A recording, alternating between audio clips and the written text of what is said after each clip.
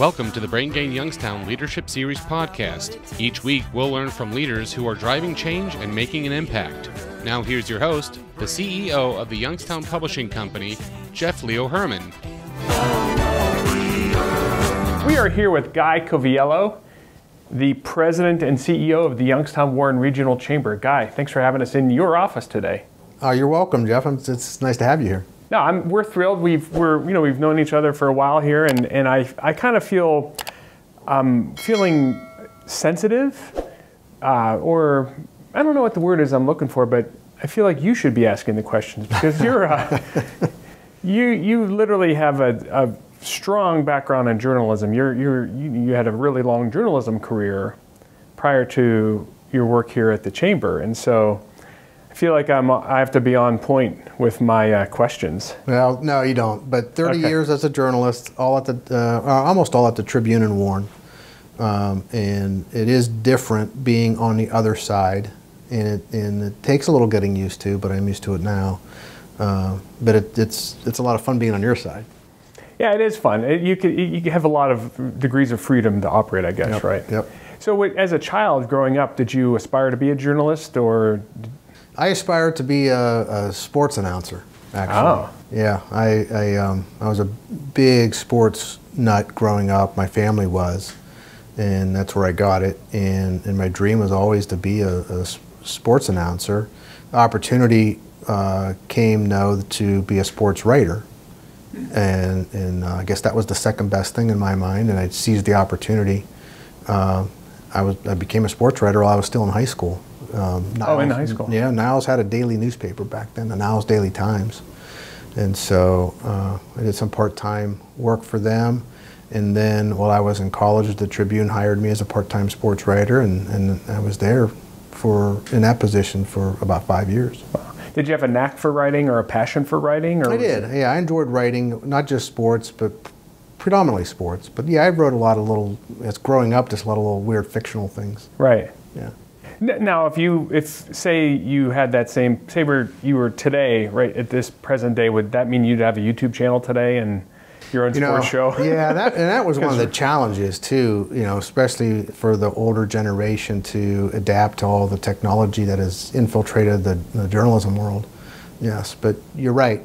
If I was going to keep up and modernize, then yes, there would be all the electronic platforms. Right. Did you have a favorite team? What what what got you into sports? Was it just the spirit of competition The- and the you know, agony of defeat? the family, my, my, my older siblings and my, my dad, I mean, they were all into sports. It was always on TV.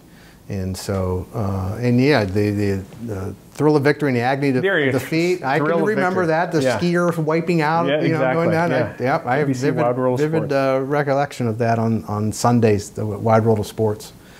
Um, and you mentioned favorite teams, and we were always Cleveland fans. Um, so Browns, Steelers. I mean, sorry, Browns um, against the Steelers and uh, Indians and and Cavs. Yeah. And back then, when you were right, on your beat, who, gee, Cleveland really never had a strong. Oh, No, they did. Indians They were. That was did. the All '90s, of them. right? All of them did. So you know, when I was a sports writer in the '80s, the Browns um, were consecutive uh, made consecutive appearances in the AFC Championship game. Um, the Cavs had their best record to date. Um, the Larry Nance, uh, Mark Price, Oh, right. all those uh, guys, Brad Daugherty. Um, and, and the Indians uh, were starting to come around, yeah. What did what did you learn? You know, having basically, you know, our market is split 50-50 roughly between Cleveland and Pittsburgh. So, was it different trying to cover Cleveland here in a split town? Certainly, certainly. Um, and but being in Warren, we were a little bit closer to, to Cleveland, and that was where the loyalties were a, a little bit more. Those loyalties also shift a little bit with who's doing well at the time. Um, so you, you can see that you can see those kinds of things. Was there an athlete you you got to interview or you looked up to? On the interview side, Michael Jordan was one of my favorites, I would say, um, until he made the shot, and, and then he wasn't my favorite anymore. Killed the Cavs. Um, but he was a he was a good one that comes to mind. Yeah. so, what, how did you progress at the at the Tribune? So, so you moved from sports into more managing editor, editor, right? Um, well, I went from sports to news writing. Um, and, and, you know, it was just a personal decision. When I graduated from college at Youngstown State, um, I just felt that it was it was time to try something different. Um, in sports, um, although I was passionate about it, it, it's not the best lifestyle for a single guy. Right. All your work is at night. All your work is on the weekends. And, and for a really true sports fan, uh, being a sports journalist, journalist doesn't really work well because when you go to the games and you're watching your favorite teams, you can't cheer after the game, you can't go out and, and, and, have a good time because you're writing your story, you're doing your mm-hmm. interviews and all that stuff. So it, it, it, I just look forward to trying something different. So the, the topic of bias in journalism comes up quite a bit, especially these days. But are sports journalists allowed to be biased? Your sports is a whole different game. so it's a whole it okay. It's a whole different game, and the, the style is different. You know, I always tell people it's easy for a sports writer to become a news writer. It's not easy for a news writer to become a sports writer it's it's different. Right. So what about what did you like about news writing or editing?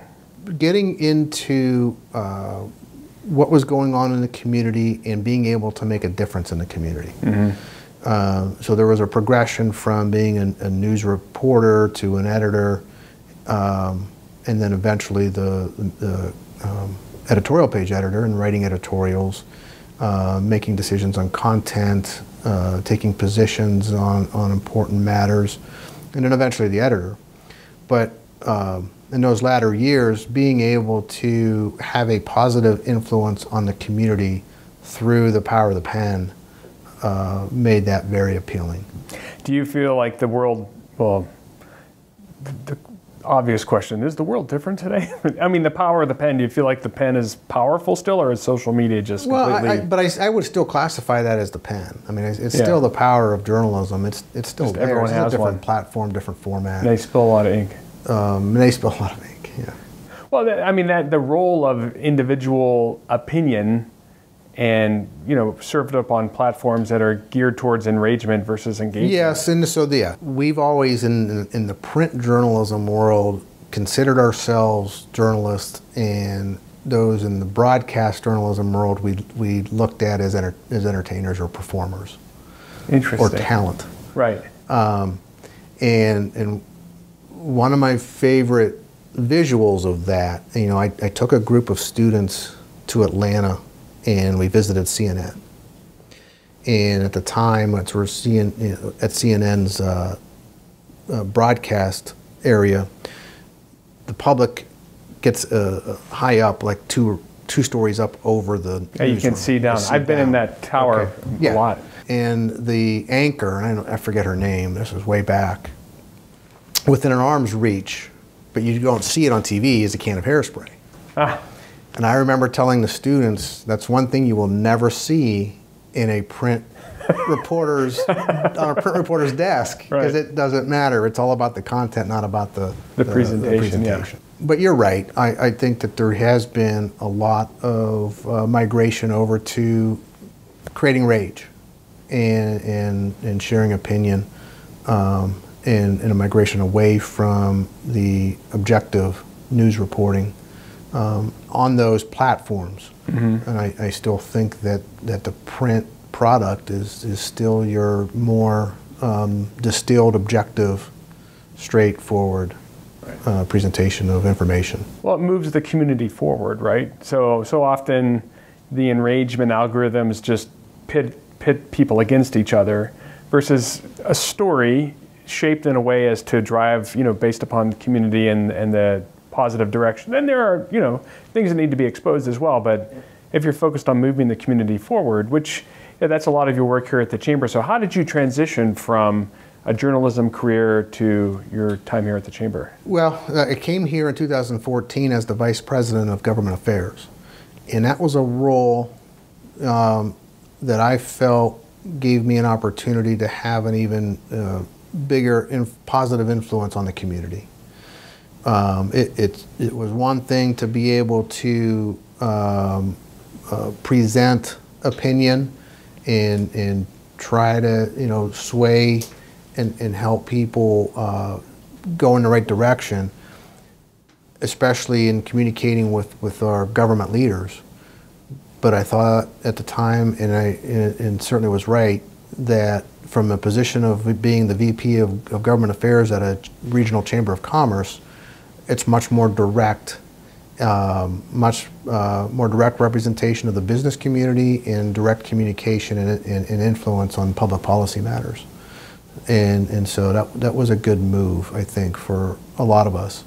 Um, my predecessor had told me about his impending retirement. Um, Tom Humphries was the president and CEO at the time, and he and I began talking about it, and, and we both agreed I would have a bigger, uh, more impactful influence in that position than the, the position I had. How important is governmental involvement at the you know regional and state level? You know, so a lot of entrepreneurs have the opinion, whatever, just tell me the rules of the game and I'll make it happen. You know, no, no, no. It's, a- I mean, it, it, it's absolutely vital. Uh, public policy is, is absolutely vital if, if the community is going to be successful. You know, and, and I've heard it most of my life here. Um, in in term, in the way it's it's been termed here in this community is, you know, we're always second fiddle to the three C's. You know, Cleveland, Columbus, Cincinnati get everything, and, and we never get our fair share right? and they should get more than us. They're bigger. Um, it's a question of what's the fair share. Right. Uh, and I think that, that this organization has put a lot of emphasis in the last few years on making sure we get our fair share. Um, and so whether it's just direct dollars from our state and federal leaders down to this community or public policy that helps this community uh, prosper more economically or improve quality of life. Those decisions are made in Columbus and DC on a regular basis and we need to be weighing in on what we want. Right. So, so for example, two weeks ago, the Cleveland Innovation District was formed. Uh, Cleveland, a couple weeks ago, right? Cleveland Clinic and the. University hospitals, okay. And then the Columbus Innovation District was just named recently. Cincinnati had an innovation district named in March of 2020, but obviously that got kind of squashed by the pandemic, COVID or era. just buried, you know, by the pandemic. So, do you see? What I've been spending more time at the state level, especially on in the world of technology and innovation. Do you see? Uh, do we need an innovation district, or do we, it seems like we're doubling down on our strengths, right? Which is manufacturing and So we, we are doubling down on our strengths. We really need to do that. Whether or not it's an innovation district, um, I think that that's something that the community has to decide. Right. And certainly, we would be well positioned to create that um, because we have a lot of innovation going on here. Um, so we do, as a community, need to identify what are our opportunities. What do we need policy-wise? What do we need funding-wise to capitalize on those opportunities, and then speak collaboratively with one voice that this is it, uh, or these are the things that we need. another C word, collaboration. Collaborate. You're not going to get anywhere without it. It's Right. just absolutely necessary that uh, organizations in this community, in the, in the leadership in this community, both business, community, and government, collaborate on what are our priorities and, and work together to go get those. So being, you know, you're new to the role, right? So congratulations on being named the president and CEO of the chamber. How how will you move forward? Like, what is your what's the game plan? I guess for So certainly the game plan is is that C word, collaboration. right, Um, on, on the economic development side, there are lots of partners that need to collaborate better together, all the way from Jobs Ohio in Columbus to Team Neo in Cleveland to all of our partners here, Western Reserve Port Authority, Eastgate Council of Governments, YBI, Brite Energy Innovators. I mean, we've got a lot of partners here that need to work better together um, and, and, and make it happen so that we can have more prosperity. so for everyone to have a seat at a table, we need a giant table. Well, it's, uh, I guess that's one way to look at it. Um, but, but that's what works. That model works elsewhere. It needs to work here. Uh, no silos. Right. Um, we can identify and work together. And, and, and we've proven in the last few years what can happen when, when, when we do come together around our top issues. Mm-hmm. I mean, it won't be that long now before we are the second, Youngstown's the second city in the state to have an autonomous shuttle. right. Um, that took a lot of organizations coming together, speaking with one voice that this is important to us. And, and I don't want to be misleading about the, the shuttle because I think there's some uh, misconception that the shuttle itself is the end game. The shuttle itself is is great. It would be nice to be able to park, or if you live on campus or you live downtown, to be able to move about.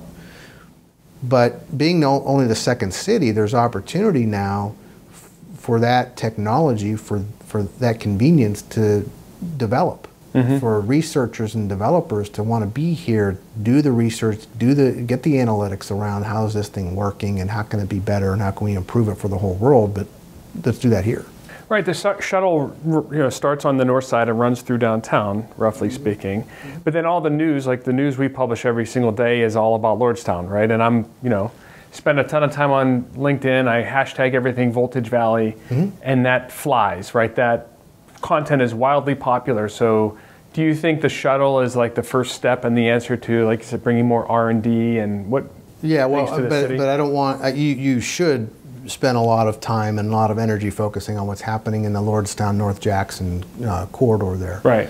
Um, and, and it, the shuttle is actually somewhat of an extension. You know, it, it's an electric vehicle, uh, it's an autonomous vehicle, and what's happening out there is sort of the, the beginnings of all of that on a much broader, more impactful scale.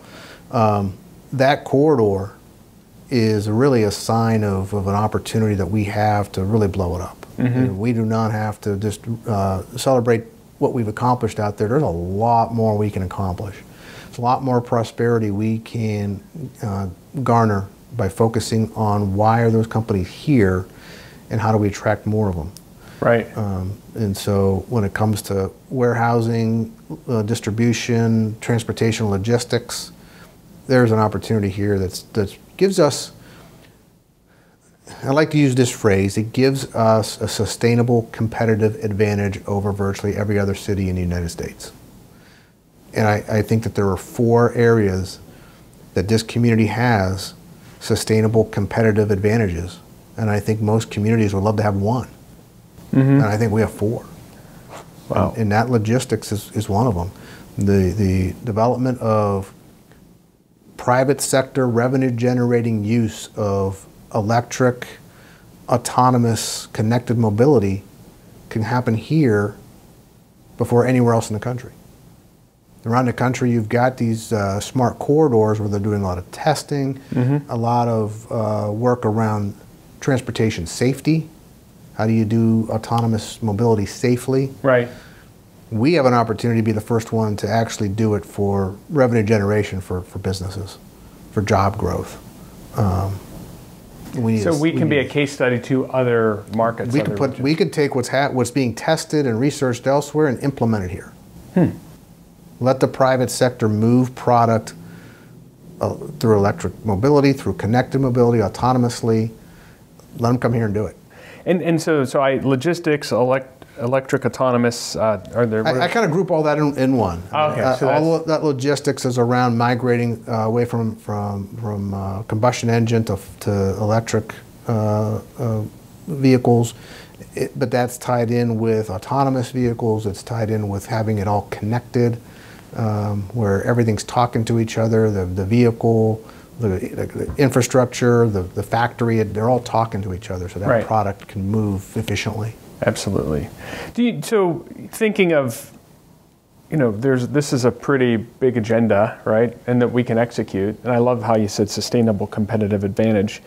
What leadership style will you deploy here to, to drive the collaboration? You know, is it and is it something that you've leaned on in the past, or you know, what you you have an opportunity here, right, to just kind of put there is an opportunity, but but the key is that it, it, it it's not here. It's not me. You know, it has to be us.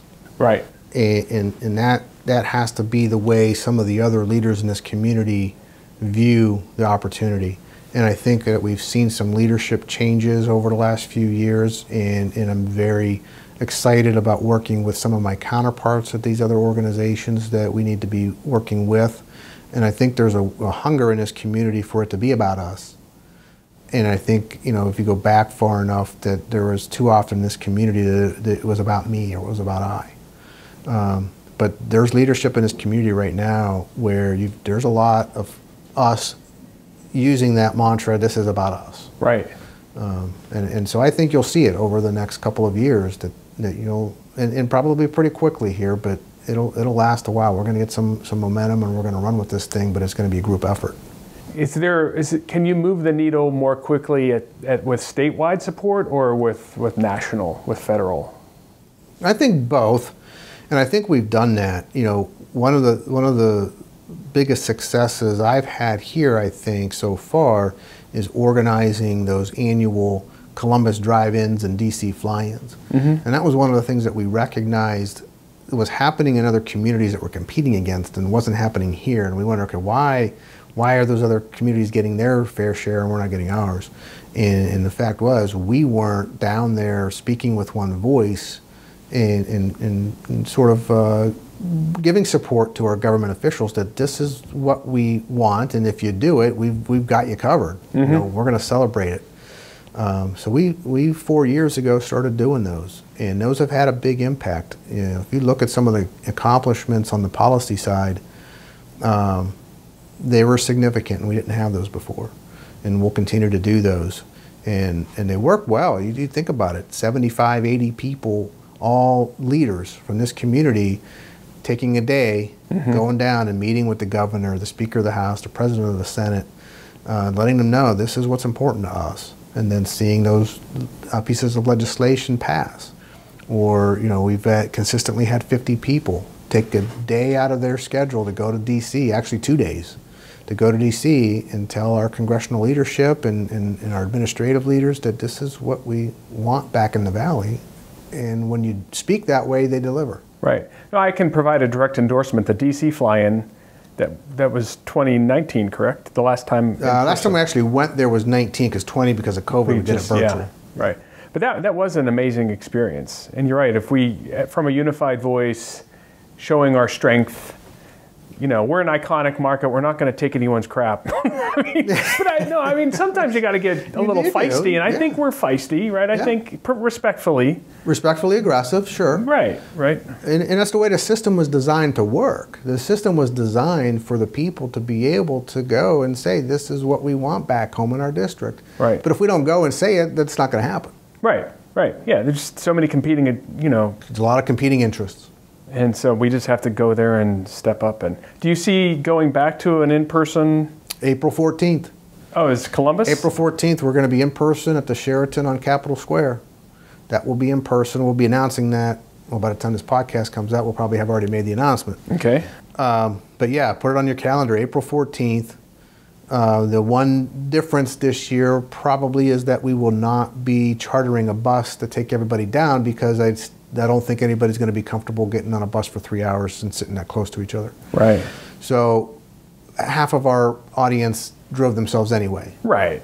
Yeah. Doing other things. Yeah, you might do other things or come from different places. Mm-hmm. Um, so, yeah, April 14th, we will have identified uh, probably three, at most four major priorities that we want from our state leaders primarily in the next operating budget, which has to pass by June 30th. And so April 14th is not, you know, a magical date. It is very well thought out that that's the day, that's the time frame that we need to be down there when they'll be at the height of their discussions over the over the operating budget. Um, and so whether it's in that operating budget or something that's become standalone and, and ongoing, and we don't, it's not April 14th and we're done. Right. So this organization and our partners will have all those follow-ups for for the following 12 months to make sure that what we are identifying as our priorities and conveying as a, as a group that there's follow-up to make sure that they deliver. Do you see, so what, what will be the big story? Is it building upon our kind of it, momentum around it is, logistics? It is. So, yes. Well, let's go back to those uh, sustainable competitive advantages. Mm-hmm. Um, one of them is military. Yep. Youngstown Air Reserve Station is one of our largest employers. It is Trumbull County's largest employer. Um, we have put over the last five years a significant um, investment as a community and as an organization on preserving that asset. over the last five years, the economic output of that air station has gone from $92 million to $137 million. And they now have more than 2,000 employees there. So we have been successful. This, this advocacy stuff, these, these trips to Columbus, that's resulted in significant state investment in that effort. So the state, this in the current operating budget, has invested $600,000 directly into the Eastern Ohio Military Affairs Commission, which provides the federal advocacy to make sure the federal government continues to invest, uh, keep this uh, facility going, and, and grow. And the current investment in, the, in at, out at Yars is the gate, right? The gate sits right off the road, and So, so the gate's the latest. The gate's the, the current one that needs to be finished.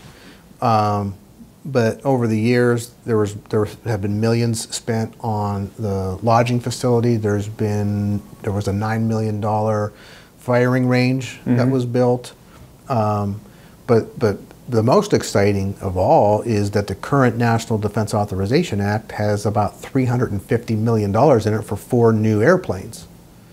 And now the battle is on to get those airplanes assigned to our Here. installation. And in that EOMAC, its director, Vito Abruzzino, very successful at getting us positioned where we're one of only two facilities now under consideration. Oh, excellent. And, and the, a, a, a parallel effort now is in the next National Defense Authorization Act to get another 350 or 400 million for four more planes because we want eight here. Um, but all that, you know, is, is a matter of public policy and, and hammering away. State's been very supportive. This community's been very supportive. There's a lot of opportunity there. So, how much does the current administration at the U.S. level, right, Biden, how much does the current president have to do with those appropriations, or is this something that's worked through Congress? Both. They're both very Is influential. it's very the important. change from, from Trump to Biden, is that For this installation, I, I, I don't know that that's going to make a whole lot of difference. Um, we have we have an opportunity and an advantage, I think, because of our congressman and the committee he sits on um, and his position on that committee. Um, we have had very good support from our senators, and we've even had very good support from uh, congressional uh, representatives outside of our district that see the value because the size of that installation means there's there's there are workers coming from outside of this district there um, and their supply chain outside of this district that supports that facility. So we've we've been receiving very good support but it's a massive bureaucracy when you're talking about DoD spending and uh, Right. and at that federal level yeah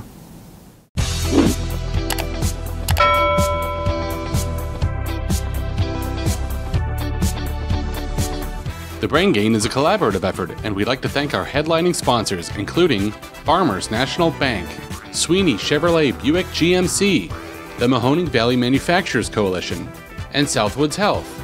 Also included are Eastern Gateway Community College, PNC Bank, the Moransky Companies, the Mahoning County Career and Technical Center, the Youngstown Business Incubator, Simon Roofing, the DeBartolo Corporation, Youngstown State University, and Junior Achievement of the Mahoning Valley.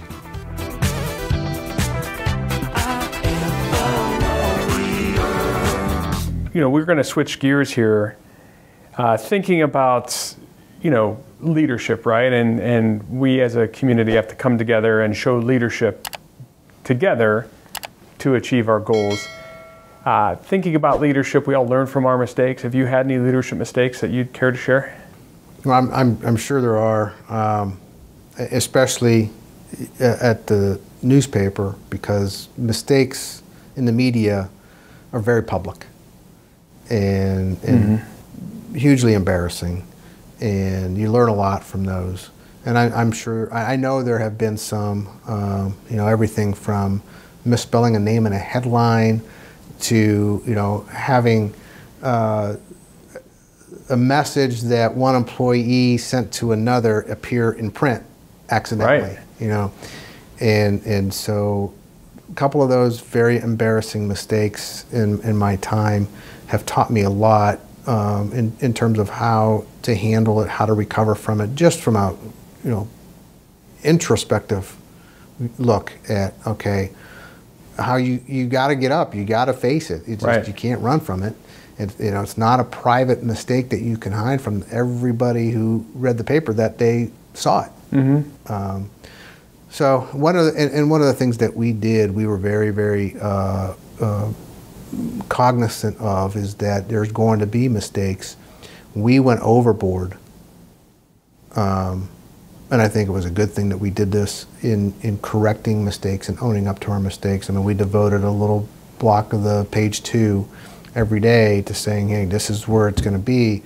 And, and we'll own up to it. We want to own up to it. We want to be trusted, Right. and so we never shied from it. Right. Just taking it head on because Yeah, I think you have to. We're trust is human, so we're gonna make right. mistakes, yeah. Right. And we all made. And is it was it moving too fast? Was it? You know, sometimes you have to slow down, right, to Right. speed up. That's right.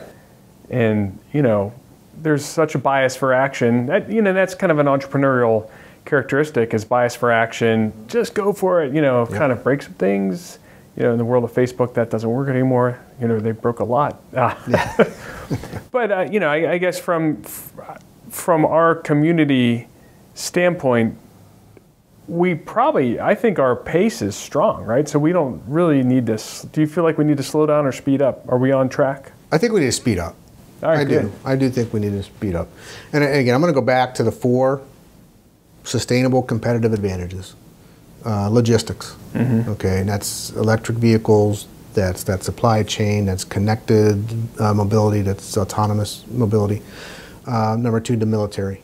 Okay, not just protecting and growing our air station, but helping our local companies enter that DoD supply chain. It's a vast supply chain, and there's lots of opportunities here.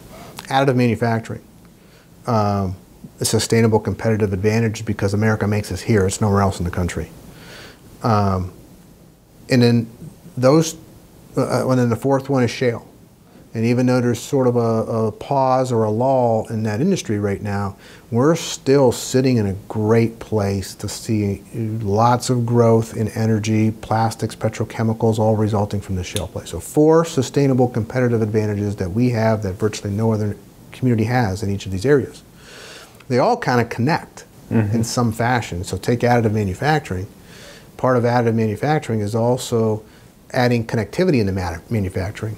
So when that raw material is is being uh, created, the factory already knows it's on the way. The truck already knows when it's going to appear there to be loaded. The, the shelf at the store already knows. It's all Yeah. connected. RFID chips to take advantage of the IoT, right? All Internet of. Things, All yeah. And then, you know, at the additive process being used and having America Makes help our local manufacturers.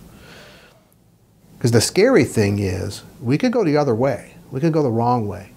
If you, if you look at um, Lordstown Motors building electric vehicles, Ultium building batteries for electric vehicles, we have a lot of jobs here totally dependent on the combustion engine. Right. So every job we're gaining in Lordstown, if we're not careful, we could lose one or two jobs elsewhere. But additive can come along, help those companies bring that technology into their process so that they can diversify their product lines, become more competitive, and enter new markets. Um, and one of the markets that, that America makes is here it has a mission to, to accomplish is to help small and mid-sized manufacturers enter the Department of Defense supply chain. Right. So then you're back to military. So all of that kind of ties in together. Those four sustainable competitive advantages aren't in these individual silos. There's connecting points for all of them, and we need to really focus on those. And I think I do think we need to speed up a little bit in, in taking advantage of the opportunities. Do you think we're positioned from a from a workforce development standpoint? So, 1,100 jobs at Ultium Cells. We have you know hundreds of jobs coming at Lordstown Motors. Yeah. You know, are we going to do we have a net? We're going to have a net inflow of population, or do you feel like we can fill those roles? Neither. Well, but I guess both. Neither and both. I don't think any community in the country is prepared to, to, to provide an adequate workforce for its employers. Right. And, and for anybody, especially me, to sit here and say we can solve that problem, that's no. but I do think that there's opportunity here through groupthink, through different organizations, um, and that has to include Youngstown State, Eastern Gateway, Kent Trumbull, has to you know, include our career centers, has to include our ESCs so that we encompass all our K through 12. Mm-hmm. Uh, has to include our, our private uh, uh, organizations like PIA and, and, the, and, so forth. I mean, we all need to figure this out together with the employers helping us, you know, paint the picture. What do you need? Mm-hmm. And then we, you know, we can we can do a decent job of filling that, but we're a long way from really solving that one. But everybody is. Right. Every community in the country has that challenge right now. Right. What can we do to speed up? Are there things, you know, challenges you'd like to offer to our audience here or recommendations you'd like to make? What, you know? Yes, and, you know, I, I do. And, and, that is being able to uh, put the ego aside, get out of your silo, um, and let's let's get together and let's let's come up through groupthink what how are we going to accomplish the opportunities, how are we going to take advantage of the opportunities, how are we going to overcome the challenges that we have because let's not run from the fact that it's not all rosy opportunities. There's right. challenges that, that we face that we have to overcome to get there. None of us are going to do it by ourselves, um, but together we'll, we'll, we'll exceed the sum of our parts. Is, is the challenge the conversion, say, from electric, you know, the leaving behind combustion-oriented businesses? That's part of it. You know, part of the challenge is, is this community lacks a a um, sort of unified, um, I'll call it overlay geographically of the two counties that kind of predetermines where does where do your utilities come from, where does where's the zoning the way it needs to be and, and we're still somewhat at, at the local government letter, level a little bit parochial about those kinds of things. And, and so we run into some challenges. Um, we, we, we have to put an end to turf wars right. over those kinds of things so that our businesses and any business that we attract the day that they decide I want to put my factory here, it's already determined. Okay, here's where your water's coming from. Here's where you're sending your your wat, your waste. We already have the zoning in place to meet your needs and the process, if we don't, to get to that point very quickly and, and, and, and very cheaply. Do we have line of sight on solving towards that, or is that still a work in progress? My challenge to the to the audience. okay. Um, we, you guys, eh, we all need to help. We all need to pitch in and figure out how do we solve that that overcome that that and other hurdles. Sure. We need to, we need to overcome the workforce hurdle. It's not good enough to say, well, everybody has that problem. All right, so they do, but let's be the one that finds the solution. Mm-hmm. So to close out, do you have a favorite leadership quote or something that uh, you look to to in those couple, quiet times? There, there are a couple, both from Thomas Jefferson. And the one I don't mind sharing, and it goes back to my journalism days, and I, am not going to remember it exactly right now. Uh, but Thomas Jefferson said, said something like, if, if it uh, were up to him whether we have a, a, government without newspapers or newspapers without government, he would not hesitate but to prefer the latter. Right. Um, and, and, I, and I firmly believe that still to this day. Um, the other one, probably not very politically correct to say it uh, so, so uh, close to uh, what happened in, in D.C but again, Thomas Jefferson said a, a, little rebellion is is good now and then, or a little rebellion now and then is a good thing. Right. Um, and, and, I and I believe that. I, I, think that our government needs tested. Well, and I and I view that as yeah, I, I agree. It's challenging the status quo. Yep. Right. So asking tough questions, getting everyone to kind of realize that hey, sometimes you got to shake things up. Yep. Right. Sometimes. So there's nothing wrong with that. There. That's to, to move forward, right, you have to embrace the ambiguity and embrace the difficult conversations at times, but you got to move ahead because you could just be. And it, and, and, it can also reinforce the good thing that we have mm-hmm. and that it's worth protecting. So, how do we get these four sustainable competitive advantages out to the world? Like, you know, we're in a iconic market, and you know, you hear, you, you, you know, you were in Texas recently you say to people, "Yeah, I'm from Youngstown," do they give you like that sideways look, like, "Oh, cool"? you get it. You get it mixed, sure. I, the, and I agree that the reputation is is not what it needs to be. Mm-hmm. And so again, you know, back to what are the challenges for the audience, and, and that would be to help us with that messaging. Mm-hmm. Um, and I don't know what the platform is, what the format is. I think we need to, to create one. I think we need to come together and, and, and help with that branding. How do we want to be branded? Is it Voltage Valley? Is it the Tech Belt corridor? I mean, you know, but let's let's get around one and let's start doing what, what needs to be done so that those outside of this community look at us differently than they've looked at us in the past. Right. I don't even want to utter, utter the the uh, RB words. Right. Right. Uh, I just want to put that off out of our out of our uh, language. No, I, I, what's funny, and, and this is organic, right? You just test things, look at the data, but you know, I referenced this before. Voltage Valley, you know, anytime I hashtag that, it flies. I have people from Tesla checking out our articles on Ultium Cells and Lordstown Motors consistently. So we, we're reaching a national audience through platforms like LinkedIn and, and other platforms. And even if there's an affiliation with Voltage Valley, even if you're not directly in the supply chain, so to speak, it's a brand. It's a it's something to embrace that's cool and unique, and um, you know, still logistics, you know, electrifying your. Electrifying, sure. so I think there's a lot to, to be said for playing with that. So, well, Guy, this has been really, really great to sit down and have this conversation. Learned a lot today. Any parting thoughts you'd have? You keep up the good work there. I think it's important for the business community to have a, a publication like yours to be the, the, the mouthpiece and, and to provide the information that we all need. Yeah, we appreciate that. Thanks. Well, thank you so much.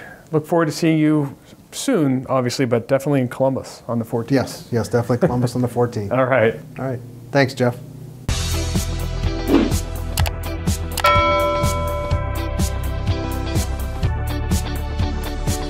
Thanks for joining us on the podcast today because together we're building a culture of entrepreneurship and promoting workforce development. So if you like what you heard, please share it with a friend and leave us a rating or review on your favorite podcast player. Your feedback is very important to us. We want to make the show better all the time. And if you would like to give me direct feedback, email me, please. My email is jherrmann at business journal.com, or you can find me on LinkedIn. And lastly, would love to thank the members of the Brain Gain Coalition. Those headline collaborators include Farmers National Bank, Sweeney Chevrolet Buick GMC, the Mahoning Valley Manufacturers Coalition, and Southwoods Health. And joining them are members of the coalition, including Eastern Gateway Community College, PNC Bank, the Moransky Companies, MCCTC, the Mahoning County Career and Technical Center, the Youngstown Business Incubator, Simon Roofing, the DeBartolo Corporation, Youngstown State University, and Junior Achievement of Mahoning Valley. Without them, none of this would be possible. So thanks again for joining us today. And remember, together we are building a culture of entrepreneurship and promoting workforce development.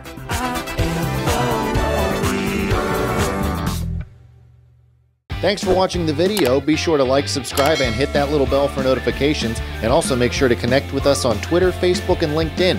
For all of your business news, visit businessjournaldaily.com. For all of your arts and entertainment news, go to afterhoursyoungstown.com.